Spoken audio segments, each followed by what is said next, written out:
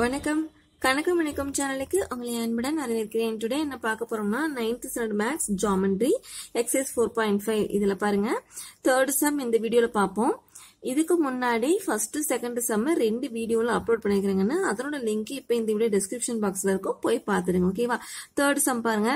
Draw the triangle ABC where AB equal to 6 centimeter, angle B equal to 110 degree and AC equal to 9 centimeter and construct the centroid. ஓகேவா இந்த triangle இந்த மூணு அளவுகள் இருக்கு இல்லையாக்கன்னா AB அப்புறம் இந்த angle அப்புறம் ஏசி இது மூணையும் வச்சு ட்ரையாங்கிள் வரைஞ்சிட்டு அதுக்கு சென்ட்ராய்டு கண்டுபிடிக்கிறது எப்படி அப்படின்னு சொல்கிறேன் நல்லா கவனிச்சுக்கோங்க ஓகேவா தமிழில் பாருங்கள் ஏபி ஆறு centimetre angle B equal to நூத்தி பத்து டிகிரி மற்றும் ஏசி ஈக்குவல் டு ஒன்பது சென்டிமீட்டர் அளவுகள் உள்ள ட்ரையாங்கிள் முக்கோணம் ஏபிசி வரைந்து அதன் நடுக்கோட்டு மையத்தை குறிக்கவும் ஓகேவா அந்த சம் சம்முக்கான ஆன்சர் தாங்கன்னு பாருங்க இந்த மாதிரி தான் படம் வரும்.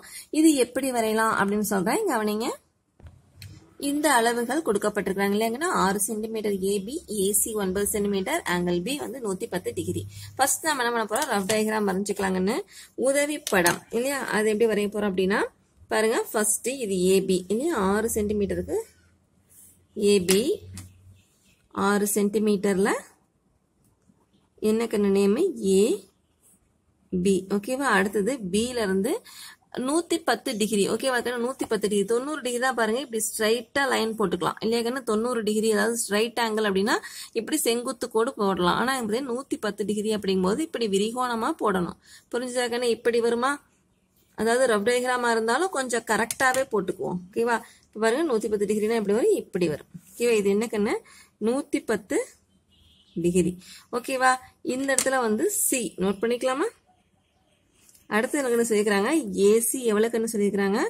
ஒன்பது சென்டிமீட்டர் இல்லையா? அப்போ ஏசி ஜாயின் பண்ணிட்டு அதுக்கு ஒன்பது சென்டிமீட்டர் அளவு அப்படின்னு நோட் பண்ணிடலாம். புரிஞ்சுதுங்களா? இவ்வளோதான் ரப் டயக்ராம் இதை வச்சு தான் இப்போ போட போகிறோம் ஃபர்ஸ்ட் என்ன பண்ண போறீங்க? ஆறு சென்டிமீட்டர் அளவுள்ள ஏபி வரைஞ்சிக்கலாமா? பாருங்க இங்கிருந்து இங்கே இங்க ஒரு டாட் வச்சிடுங்க. அடுத்து வரைஞ்சிடுங்க. ஆறு சென்டிமீட்டர் இதுக்காக இது எவ்வளோ இது என்ன கண்ணு நேமு ஏ பி எவ்வளவு கண்ணு? அளவு?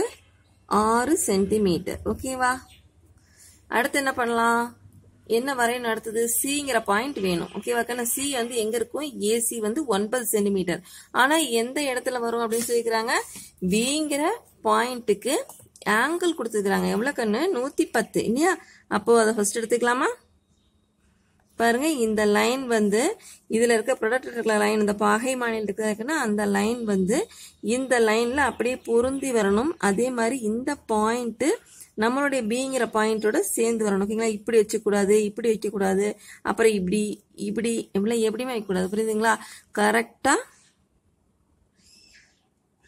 இப்படி வைக்கணும். புரிஞ்சுங்களா இந்த லைன் எது நம்ம லைன் எதுன்னு அப்படின்னு டிஃப்ரெண்டே தெரியக்கூடாது. ஓகே கண்ணு? இந்த லைனும் இந்த லைனும் அப்படியே மேட்சா வரணும். வந்துருச்சா கண்ணு? இப்போ பாருங்கள் டிகிரி நூற்றி பத்து டிகிரி அதாவது உள்ளே இருக்கிற அளவு எப்பவுமே எடுக்கக்கூடாது கண்ணு. பெரிய கிளாஸ் பண்ணினா தான். ஓகேவா இப்போ வந்து மேலே இருக்கிற அளவுகள் தான் எடுக்கணும். பாருங்கள் எண்பது தொண்ணூறு நூறு நூற்றி பத்து எங்கே கண்ணு வருது? இந்த இடத்துல வருது. இல்லையா? பாருங்க பிங்கிறது கரெக்டாக வச்சிட்டோம். இந்த பில தான் எடுக்க எடுக்கிறோம் இந்த அளவை. அதே மாதிரி நூத்தி பத்துக்கு அளவு எடுத்தாச்சு. புரிஞ்சுதுங்களா? அப்போ அதை என்ன பண்ணலாம்? ஜாயின் பண்ணிக்கலாமா கண்ணு? அது வந்து இவ்வளவுதான் அளவுன்னு கிடையாது. நீங்க லென்த்தா கூட ஜாயின் பண்ணிக்கங்க.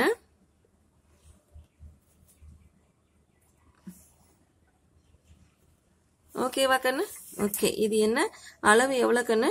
நூத்தி பத்து டிகிரி சி அப்படிங்கிற பாயிண்ட் இன்னும் நோட் பண்ணல கண்ணு. அதுக்காக இன்னொரு வேலை இருக்குது. அது என்னன்னா இங்க பாத்தீங்கன்னா ஒன்பது சென்டிமீட்டர் அளவு எடுத்து தான் சி நோட் பண்ணும் புரிஞ்சுதுங்களா? அப்போ ஸ்கேல்ல காம்ப காம்பஸ் எடுத்து பாருங்க. ஒன்பது சென்டிமீட்டர் அளவு எடுத்து புரிஞ்சுதுங்களா? பாருங்க கரெக்டா இருக்க கண்ணு? பாருங்க. நைன். கரெக்டாக வருதுங்களா? ஓகே. ஏவை தான் மையமாக வச்சு புரியுதுங்களா? ஏன்னா ஏசி அப்படிங்கும்போது ஏவை மையமாக வச்சு இந்த நாம் ப இப்போ பாகை மாணி வச்சு அளவெடுத்தோம் இல்லையா? அதை வந்து கிராஸ் பண்ணி ஒரு ஆர்க் போடணும். ஓகேவா? இப்போ தான் நம்ம சீங்கிற பாயிண்ட்டை நோட் பண்ண போகிறோம் அது இந்த பாயிண்ட் புரிஞ்சுதுங்களா? இப்போ ஏபிசி கிடச்சிருச்சு. இப்போ ஏசியை ஜாயின் பண்ணிடலாமா? பண்ணியாச்சு. ஓகேவா இப்போ ட்ரையாங்கிள் வேலை முடிஞ்சது. ஏபிசி வேலை முடிஞ்சது. என்ன கண்டுபிடிக்கணுங்கன்னா சென்ட்ராய்டு கண்டுபிடிக்கணும். சென்ட்ராய்டு எப்படி கண்டுபிடிப்பீங்க? ஏதாவது ரெண்டு பக்கத்துக்கு மிட் பாயிண்ட் கண்டுபிடிச்சு அந்த மிட் பாயிண்ட்டுக்கும் அதுக்கு எதிரே உள்ள முனைப்புள்ளி வெர்டெக்ஸி ஜாயின் பண்ணிங்கன்னா ரெண்டு லைன் கிடைக்கும். அதே மாதிரி அந்த ரெண்டு லைன் ஜாயின் பண்ணுற இடத்துல தான் சென்ட்ராய்டு நம்ம சொல்லிடுவோம் நடுக்கோட்டு மையம் அப்படின்னு சொல்லுவோம். ஓகேவா இப்போ என்ன பண்ண போகிறோம் மிட் பாயிண்ட் கண்டுபிடிக்க போகிறோம் அதுக்கு என்ன பண்ணுறீங்கன்னா ஒரு குறிப்பிட்ட அளவுக்குன்னு இப்போ பிஏ மையமா எடுக்கிறோம் பிஏ தான் சென்டர் எடுக்கிறோம்னா வருங்க பாருங்க பாதி அளவுனா இந்த இடத்துல வரும்.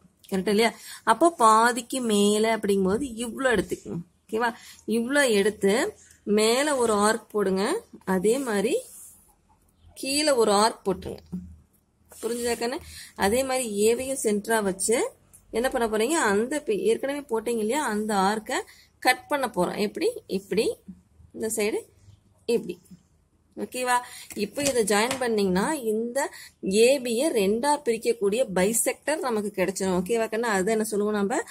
இரு சம வெட்டி ஒரு கோட்டை வந்து இரு சம பாகமாக பிரித்து கொடுக்கறனால அதை என்ன சொல்லலாம்? இருசம வெட்டி அப்படின்னு நம்ம சொல்லுவோம். ஓகேவா இது வந்து டாட்டட் லைன்ஸாக போட்டுக்குங்க. ஓகேவா இதை வச்சு நம்ம மிட் பாயிண்ட் மட்டும் தானே கண்டுபிடிக்கிறோம். அதனால அது டாட்டட் லைன்ஸுக்கு அதே மாதிரி இப்போ பிசிக்கு நடுவுலையும் என்ன கண்டுபிடிக்கணுங்கன்னு மிட் பாயிண்ட் கண்டுபிடிக்கணும் பைசாக்டர் வரையணும் ஓகேவா அதே மாதிரி பாதி அளவுக்கு மேலே. பாருங்க. இது சரியான பாதி அளவு அப்படின்னா இன்னும் கொஞ்சம் சேர்த்து எடுத்துக்கோங்க ஓகேவா அதே மாதிரி அதுக்கும் மேலே ஒரு ஆர்க்குன்னு இந்த சைடு ஒரு ஆர்க் அது எங்கே வேணாலும் வரலாங்கன்னு கண்ணு. அதுக்காகலாம் நீங்கள் வரி பண்ணிக்க வேண்டாம்.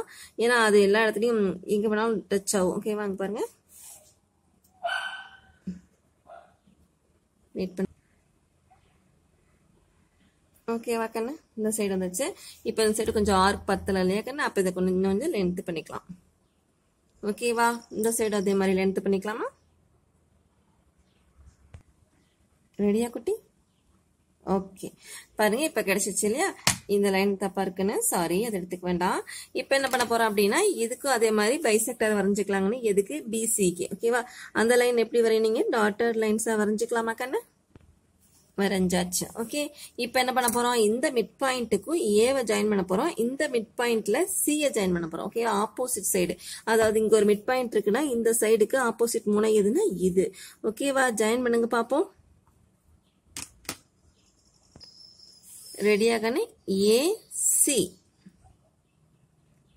அதுக்கு முன்னாடி இந்த மிட் பாயிண்ட்டுக்கு ஒரு நேம் கொடுத்துடலாம். ஓகேவா இங்கே ஒரு மிட் பாயிண்ட் வந்துச்சு. இங்கே ஒரு மிட் பாயிண்ட் வந்துச்சு இல்லையா அதுக்கு வந்து நேம் கொடுத்துடலாம். இங்கே பாருங்க ஏபிசி இருக்குது. அப்போ இது டி கொடுங்க. அதே மாதிரி இது டிக்கு அப்புறம் ஒரு e. இ ஓகேவா கண்ணே? இந்த இடத்துல இ e கொடுத்துடலாம். ஓகே இப்போ ஜாயின் பண்ணலாமா? ஏ டி ஓகேவா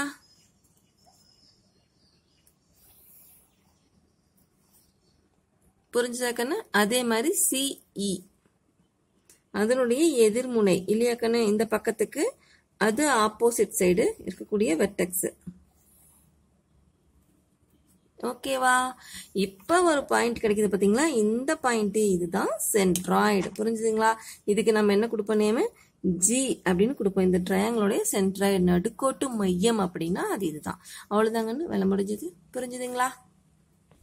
இதுல ஏதாவது டவுட்னா எனக்கு கமெண்ட்ல சொல்லுங்க கண்ணு இதுக்கு எப்படி வரைமுறை எழுதலாம் கன்ஸ்ட்ரக்ஷன் எழுதலாம் அப்படின்னு சொல்லிட்டு பின்னாடி எப்படி வரும்? கன்னியா பாருங்க வீடியோவை